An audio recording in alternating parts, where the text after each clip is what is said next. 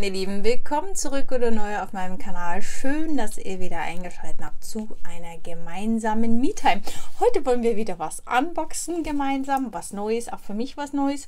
Und wenn du schon gespannt bist, so wie ich, dann wie immer schnapp den Kaffee, den Keks, was auch immer dir gut tut. Und nach einem kurzen Intro sehen wir uns dann wieder.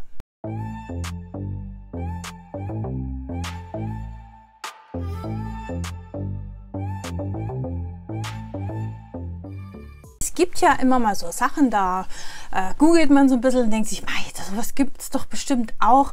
Und so ging es tatsächlich mir bei dieser Box. Aber das Wichtigste zuerst, wenn du neu bei mir bist, auf meinem Kanal und dir dieser Kanal gefällt, würde ich mich natürlich über ein Abo freuen. Oh, ich bin jetzt gerade Treppe hochgelaufen.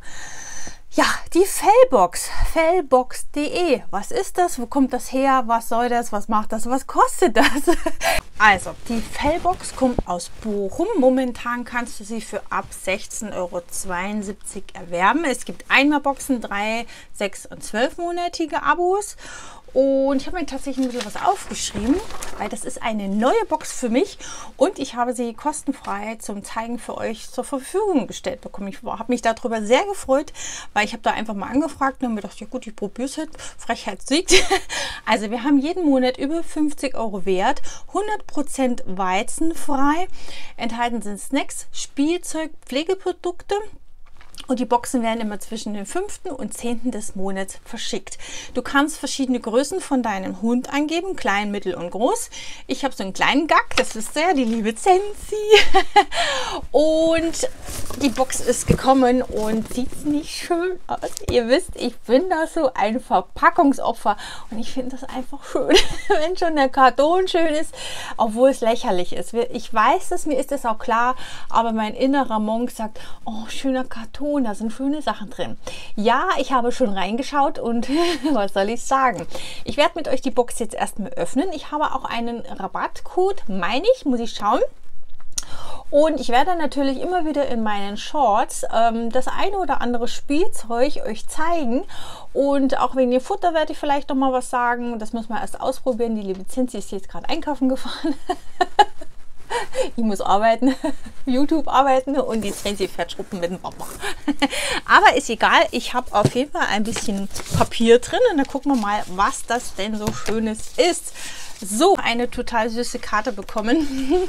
Gab es da nicht mal so, ähm, so eine Comic-Serie? Ich bin mir da jetzt nicht sicher. Auf jeden Fall, liebe Heike, wir freuen uns riesig, dass ihr im September die Fellbox testet. Als Dankeschön für eure Unterstützung können eure Follower 10 Euro auf die erste Box sparen. Der Rabattcode, ich blende ich, äh, den blende ich euch nochmal ein, Streuschieber. Ähm, liebe Grüße, dein Fellbox-Team. Das finde ich sehr süß, muss ich sagen, weil das finde ich immer sehr schön, wenn man als kleiner Influencer, wie man so schön sagt, auch mal die Chance erhält und nicht, wenn du erst 10.000 Follower hast. Ähm, ja, in diesem Sinne, wenn du neu bei mir bist, gerne abonnieren den Kanal und wenn ihr wieder eingeschaltet habt, schön, dass ihr da seid. Also 10 Euro auf die erste Box, das finde ich sehr fein. Da kann man nämlich das mal testen und sagen, ist das was für mich, ist das was für mein Haustier, mag mein Tier das überhaupt? Weil meine Katzen zum Beispiel, die sind da so mäkelig, da brauche ich gar keine Box, äh, glaube ich, ähm, kaufen, bestellen. So, viel Spaß mit deiner Fellbox. Ähm, die Fellbox wurde mit Liebe gepackt von Maya. Okay, ist das nicht süß? Ich mag doch sowas, ihr wisst das, gell? So, was steht denn da noch drin? Okay, wir haben einen Zettel da steht auch noch mal was drin. Genau, zu dieser einzelnen Box jeweils.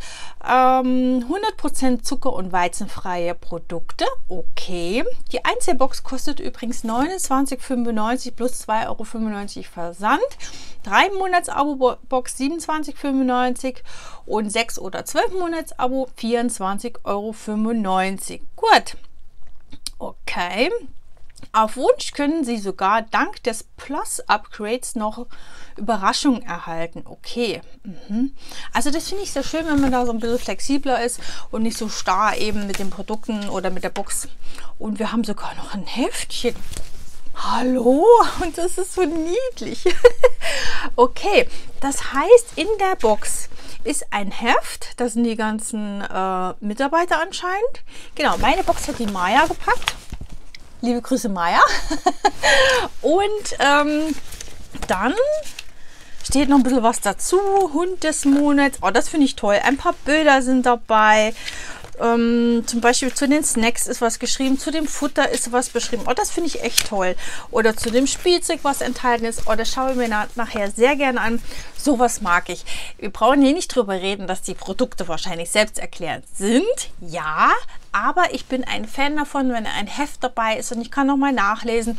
Oder wenn ich zum Beispiel sage, wo gibt es die Firma äh, www, bla, schlag mich tot, wie auch immer, dann kann man das in dem Heft nochmal nachlesen. Vielleicht ist das Spiel Spielzeug bis dahin schon zerstört. Also finde ich auf jeden Fall sehr schön. Wir greifen jetzt einfach mal endlich in die Box hinein und dann schauen wir mal, weil ich glaube, die liebe Zenzi wird sehr begeistert sein, neues Spielzeug zu Agatha, weil sie hat nämlich in letzter Zeit sehr viel zerstört. Und das erste, was wir hier haben, Twinkles, Paulino.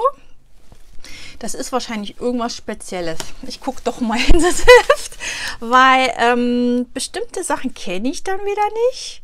Oder bin ich ganz up to date, was so der Markt hergibt.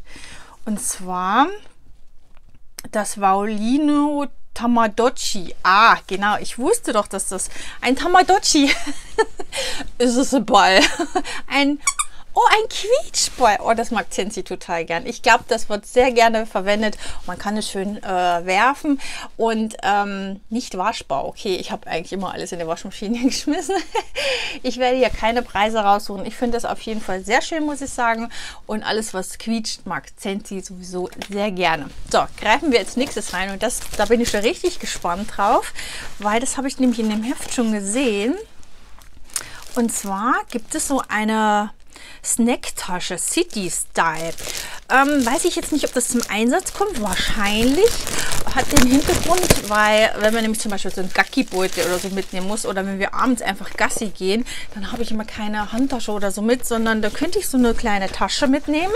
Genau, so eine Tasche. Und die könnte man auch einfach nur an an, ähm, an den Gürtel machen. Okay, da ist nochmal ein Bild. Ja, das finde ich tatsächlich gar nicht so schlecht, weil dann könnte ich nämlich alles so klein kramen, wo ich weiß, das nehme ich immer mit, einfach in der Nähe von von der Leine aufbewahren. Für meinen Mann wäre das jetzt nichts. Das hat einen Umfang von 85 bis 1,55 Meter, also dieser Gurt. Aber was mir gut gefällt, es ist neutral, es ist nicht farbig und das heißt, selbst wenn ich das meinem Mann meine Hand drücke, dann sagt er nicht, das ist eine Mädchentasche. Greifen wir wieder rein und auch hier bin ich wieder gespannt. Ich schaue ins Heft. Wir machen das jetzt so, weil ich glaube, das ist der beste Weg, um euch keine falschen Informationen zu geben. Und zwar haben wir der Vaulino Docdento. Okay. Ähm, ist von Mario oder Mario Kart. Okay, das kenne ich gar nicht. Quietscht das? Ja, quietscht auch. Ähm, ist das ein Radio oder was ist das? Ähm, ähm, das ist ein Controller. Ah, okay, das ist ein Controller. Man sieht, das ist nicht mehr meine Altersgruppe. Also hier tut man wahrscheinlich drücken und da ist es hoch und runter. Ja, es leuchtet mir schon ein, aber ich hätte es tatsächlich nicht erkannt. Äh, Zenzi wird es freuen, dass es quietscht und das finde ich auf jeden Fall mega. Alles, was quietscht, kommt bei uns sehr gerne zu Hause rein oder an. so, ich glaube, ich fange jetzt mal an mit dem Heft von vorne an, sonst wusche ich mich da durch. Und zwar haben wir hier etwas Schwarzes. Ich sag, das ist Leberwurst. Und zwar Lottis Häppchen, genau. Ein besonderer Belohnungssnack für Training, Erziehung und Spaß. 75 Gramm. Ähm, ich muss sagen, diese Leberwurstgeschichten, da habe ich früher gedacht, ja, so ein Schmarrn braucht kein Mensch. Doch, das braucht man. für den Hund. Ich habe keine Ahnung, ob das wirklich so super ist. Ähm, unser Hund fährt darauf voll ab, mag das total gern. Ich habe da so einen Ball, da tue ich immer ein bisschen Trockenfutter rein und dann diese Leberwurst und da geht die voll ab. Das mag die als Beschäftigung sehr gerne. Ich weiß zum Beispiel, dass viele so Schleckmatten kaufen und sowas draufstreichen, weil normale handelsübliche Leberwurst, die ja wirklich gewürzt ist, soll man ja nicht verwenden. Deswegen finde ich das sehr schön und auch das wird unser Hund Zenzi sehr gern verspeisen. Schauen wir mal, was als nächstes drin ist. So, ich denke mal, das sind so Snacks. Ähm, gucken wir mal weiter. Nein, jetzt kommen die Dosen. Gut. Also wir haben zwei Futterdosen. Und zwar wird es geschrieben mit V. Futter. Pflanzlich. Äh, vollwertig und lecker mit Fisch und mit Wild. Ähm, wir sind tatsächlich jetzt auf so kleine ähm, Sachen umgestiegen, weil unser Hund so mäkelig ist mit dem Fressen. Das ist ein typischer Dackel. So, oh, jetzt hast du neues Futter, kann ich jetzt mal probieren? Mm, zwei Tage später. Ganz schlimm. Wir haben hier eine Dose mit jeweils 400 Gramm. Ich bin gespannt, ob sie es mag. Grundsätzlich finde ich solche kleinen Dosen immer besser wie diese großen, ähm, was sind das, 800 Gramm Dosen, auch wegen den Fliegen im Sommer. Also das werde ich auf jeden Fall mal testen mit ihr. Da gibt es zwei, vier, sechs, acht verschiedene Sorten.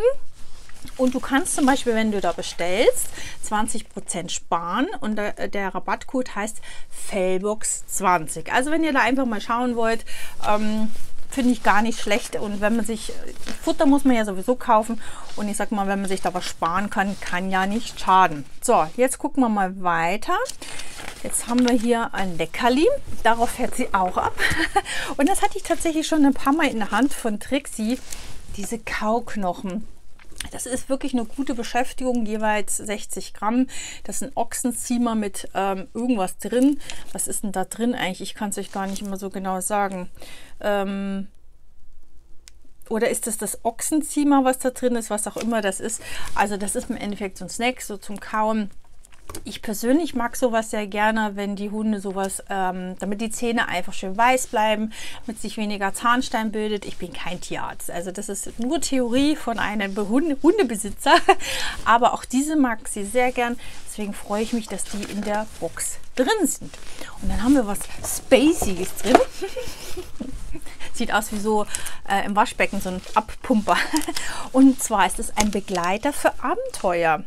Und zwar ist es wahrscheinlich eine Flasche. Ah, genau. Du machst die Flasche voll und oben ist so ein Loch und dann kannst du das hochdrücken und dann kommt da Wasser raus. Das heißt, äh, wenn du unterwegs bist, da kann der Hund draus schlürfen und du musst es dann nicht immer irgendwo einen Becher haben und so. Das finde ich sehr schön für unterwegs. Werden wir testen beim nächsten Urlaub und das kannst du auch einen Rucksack dran machen. Also schön durchdacht. 550 Milliliter würde wahrscheinlich auch für einen größeren Hund reichen. Finde ich aber wirklich gut, weil wir wandern sehr gern. Zwar noch nicht so viel mit der Zensi, aber jetzt können wir testen, weil wir brauchen keinen Becher mitnehmen. so, dann haben wir noch mal von Trixie Denta Fun ähm, mit Büffel. Okay, ähm, das sind so Kausnacks. Habe ich bisher nur Ente gekauft. Bin gespannt, ob sie das auch mag. Auch das finde ich einfach schön für zwischendurch. Ähm, sie weiß schon, wenn, wenn dieses Geräusch kommt, dann gibt es irgendwas in der Küche. Blöd, wenn das natürlich für uns Lebensmittel sind, Mozzarella oder irgendwas. Aber hier sind 70 Gramm drin. Das reicht ein paar Tage, fast eine Woche bei uns. Und ich kaufe sowas tatsächlich immer wieder gerne. Und ich finde es auch gut, wenn sowas in Boxen drin ist. Dann kann man das mal ausprobieren, wenn man so einen mäkligen Dackel hat wie wir. So, dann stehen noch ein paar Abenteuertipps. Man könnte zum Beispiel auch ein paar Snacks selber kochen, ist drin. Dann sind noch ein paar Snacks für unterwegs, auch getreidefrei. Okay, für kleine Momente unterwegs. Ist das süß. Habe ich noch nie gesehen. Also wie so kleine Gutzler, ähm, die man in diese Transporttasche vielleicht reinmachen könnte, finde ich sehr schön wahrscheinlich verschiedene Sorten drin. Huhn, Ente und Pferd, okay. Und auch das wieder gut, man kann die Geschmacksrichtungen testen, beziehungsweise der Hund. Ich würde es jetzt selber nicht probieren, ich würde vielleicht mal dran riechen, mache ich aber auch eher nicht. Aber nachdem die auch einzeln eingepackt sind, finde ich das gut für diese Tasche für unterwegs. Dann ähm, braucht man nicht wieder eine extra Tüte, sondern man hat das schon eingepackt und dann ist es eine saubere Sache. So, dann haben wir noch zwei Sachen hier drin. Eine kleine Karte, okay. Der Code, gut. Und wir haben, was bist du? Ah, noch mal eine Nassnahrung. Duck and Turkey.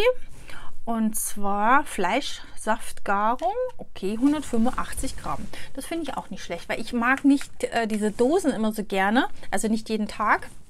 Wenn wir jetzt zum Beispiel in Urlaub sind, mag ich gerne sowas. Das finde ich halt zum Wegwerfen einfach schöner, weil wenn ich jetzt im Hotel bin, ähm, finde ich es immer schwierig mit den Dosen. Die Dosen mag ich lieber zu Hause. Es gibt ja auch so Beutel, wo du äh, Nassnahrung drin hast. Also das finde ich auf jeden Fall richtig schön. Ich fasse nochmal zusammen. Also einmal Nassnahrung, einmal Spielzeug, zweimal Spielzeug. Ein Snack, einmal Leberwurst, einmal Futter, nochmal Futter, was zum Snacken, was für unterwegs, nochmal was zum Snacken und belohnen, einmal unser Rabattcode für euch, ein Heftchen und die Tasche für unterwegs. Und was soll ich sagen, wenn ich da 16,72 Euro jetzt bezahlt hätte, ähm, finde ich den Mehrwert sehr geil, sehr schön und kann ich euch echt empfehlen. Und vielleicht auch, wenn jemand sich neu ein Haustier anschafft, einfach mal so als Starterpaket finde ich das eine tolle Idee. Dann kann man sagen, Mensch, du hast doch noch gar nicht so viel Spielzeug und du weißt doch noch gar nicht genau, was dein Hund gern so mag, was es für Snack gibt. Dann kann man so eine Box einfach mal auch verschenken. Dann kann man demjenigen vielleicht ähm, auf einem anderen Weg mal was Gutes tun tun, weil, sind wir doch mal ehrlich, wenn wir so ein niedliches Haustier haben, so einen kleinen Welpen oder ganz neu vom Tierheim, ein Hund oder wo auch immer du den her hast, ähm, dann möchte man ganz viel Liebe, ganz viel Geld reinstecken und das tut gar nicht weh, wie wenn man selber im Laden geht und sich selber was kauft.